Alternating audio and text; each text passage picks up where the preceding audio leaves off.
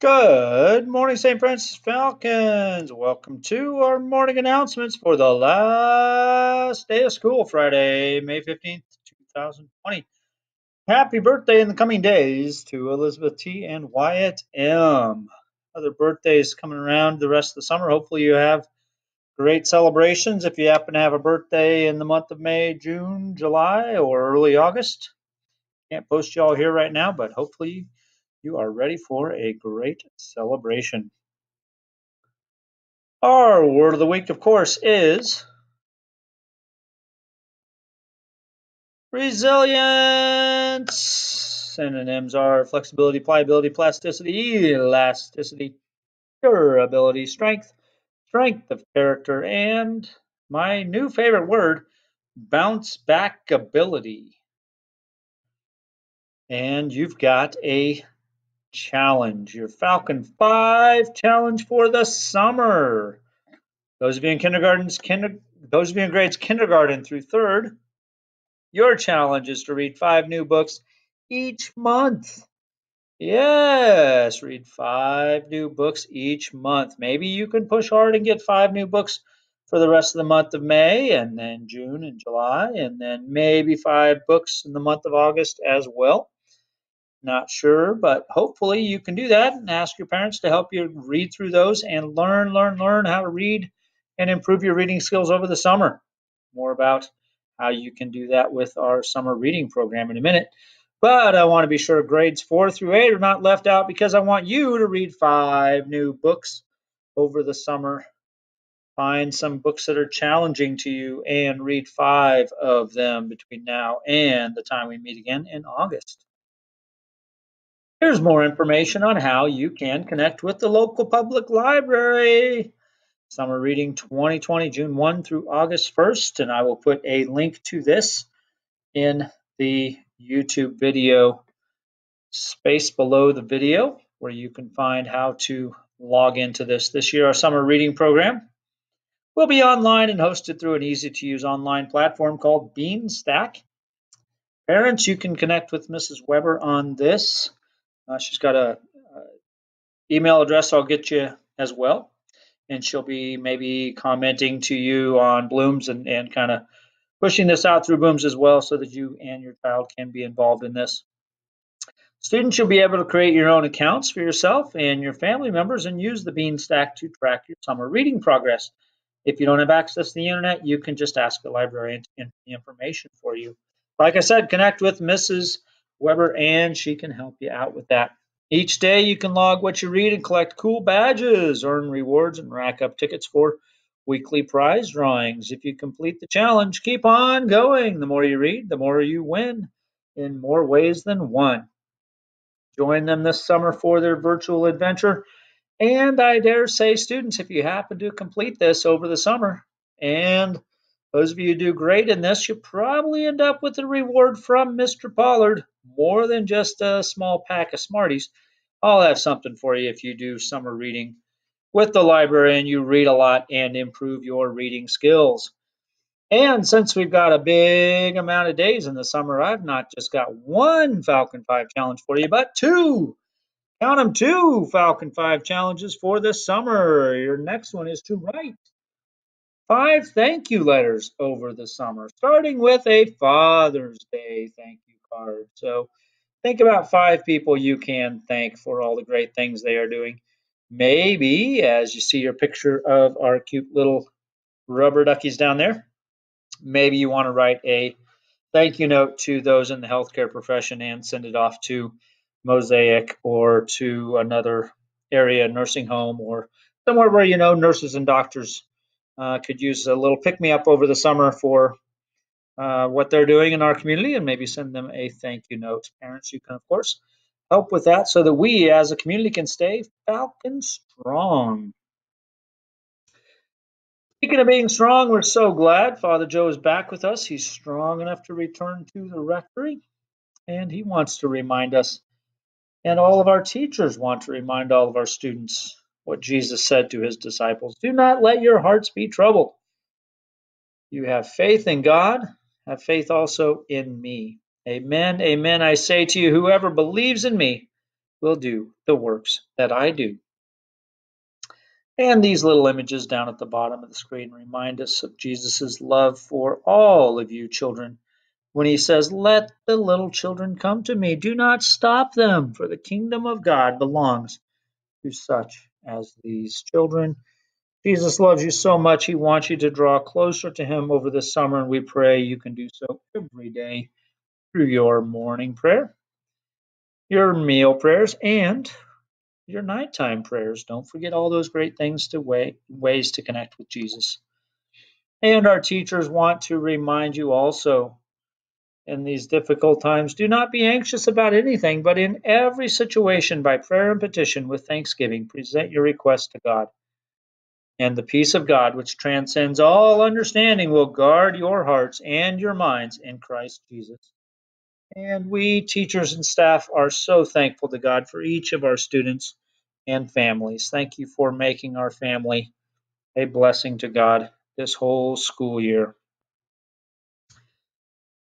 And our eighth grade Falcons, those moving into eighth grade, have some words of advice as well from our Acts of the Apostles this last month. We've been reading about Paul traveling so far for his love of God. His journeys were about spreading the word of God to those who hadn't experienced his love and guidance.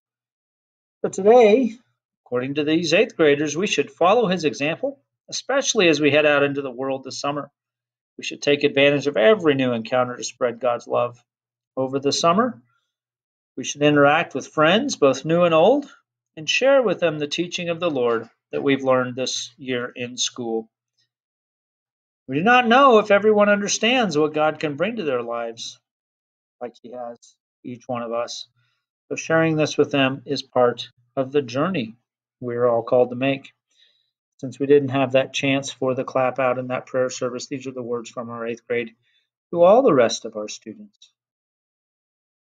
And so we say our last Pledge of Allegiance with our hand on our hearts, remembering those medical workers who are so resilient. We say, I pledge allegiance to the flag of the United States of America and to the Republic for which it stands, one nation under God, indivisible, with liberty and justice for all. And our morning prayer begins in the name of the Father, and of the Son, and of the Holy Spirit. Amen. Our prayer of adoration says, You are a chosen race, a royal priesthood, a holy nation, a people of his own, so that you may announce the praises of him who called you out of darkness into his wonderful light. Our concern prayer reminds us, O oh God, bless your people, keep them safe and defend them. May all those putting themselves at risk be reminded that the Lord is with them to guide them and strengthen them. We pray especially for Father Joe, bring him health and healing. In Thanksgiving, we say, Thank you, Lord, for blessing us with this past school year when we learned how to adore you, to tell you our concerns, to give you thanks, and to explain our sorrow for our sins. Thank you also for guiding Father Joe out of the hospital and back to the rectory where he continues to recuperate. And in sorrow, Lord, we are sorry for those times we've not realized that our faith in you will bring us joy and take away our fears. And we're sorry for those times we did not do the works you expected us to do to bring about the kingdom of your Father here on earth. And we end our prayer in the name of the Father, and of the Son, and of the Holy Spirit. Amen. As the rest of these announcements continue, I will walk you through the school web page where students maybe get a little bit of uh, homesickness. You want to see what all we can learn about the school and there's some great images and things like that on the web page. So I'll walk you through those and the rest of the announcements if you want to continue watching. If not, maybe you want to get back to this or other announcements over the summer to remember what a great school year we've had. It's truly been a blessing to be a part of all of your lives, and we hope that God will guide you in this summertime and see you back in August. And remember, stay awesome and stay healthy. Hi guys, remember when I said on morning announcements that you can find out our whole web page online so you can see and interact with our school over the summer, different things.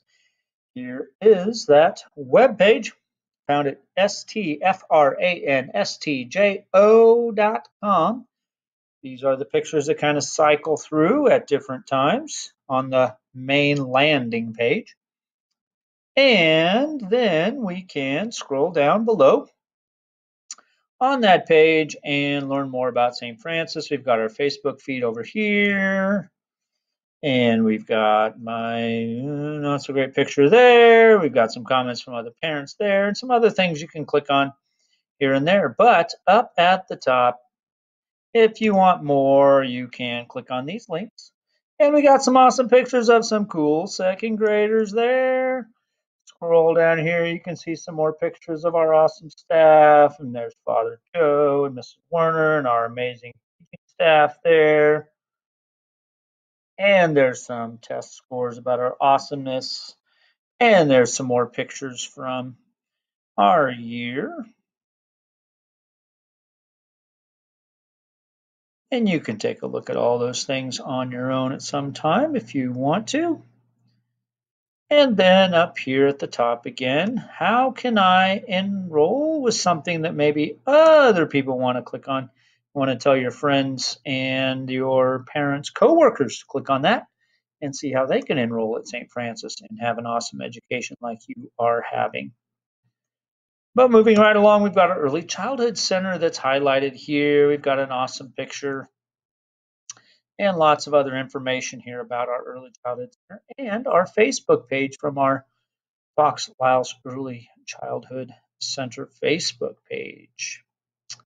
And we've got some awesome pictures of our ECC kids and kindergarteners, some great pictures from this year, and maybe even some from past years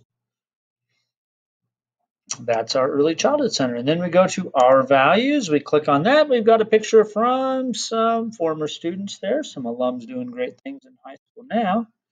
And we've got some of our current friends. Academic excellence is one of the things we are all about at St. Francis. Formed with families, of course. This is a picture from many years ago with some of our friends dressing up in Halloween costumes at the time. And a current picture of Ms. McIntosh in our awesome fourth grade class this year, and some connections with our older students and younger students, and our innovation using our Chromebooks and such, and of course our dedicated parents. So more information there if you want to take a look at our values there. Then you can go over here to Falcon Highlights and you can see more about our school. Got an awesome picture of our current eighth graders, Father Joe there, their volleyball game day. There's more text there, things to read about our awesomeness in what's called a blog on that page. Then we've got our service to the community page here. We've got a few pictures of different things that we've done in the past